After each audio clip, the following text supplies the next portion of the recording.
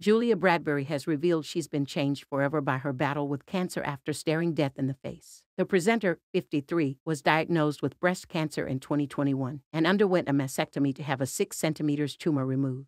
Speaking to the Mirrors Outdoors in Mind podcast, Julia admitted that her diagnosis has led her to question how many days she has left on Earth, but doesn't want to let the threat of the disease rule her life.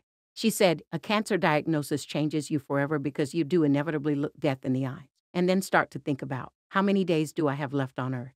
So it's something that you have to work through emotionally constantly, but I don't let it gnaw away at me. Although I'm aware of its presence in my life, I don't want it to rule my life and be something I'm constantly worried about. I think that can be very harmful and have a detrimental impact.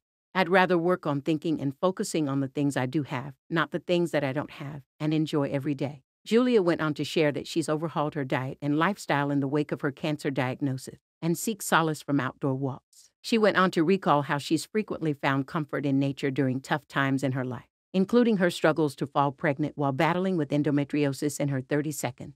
Recalling her decision to take a pregnant test while filming in Iceland, she said the crushing disappointment to learn she wasn't expecting was eased by three days of hard hiking. Julia recently detailed that how her breast tumor was missed on two mammograms before her cancer diagnosis. She told how she has dense breast tissue, which means cancerous tumors are more difficult to see on a mammogram, leading to hers being missed during two scans. Dense breast tissue, calcifications, and tumors all appear as white areas in the mammogram, making it harder to differentiate between the two. Women with dense breast tissue may also have a higher risk of developing breast cancer because there are more cells that may become cancerous, according to the NHS. Julia shared a picture of her own mammogram to demonstrate the issue doctors were faced with, telling how it was a year before she was diagnosed with cancer. The TV star was eventually diagnosed with the disease in September 2021 before undergoing a mastectomy to have her 6 centimeters tumor removed.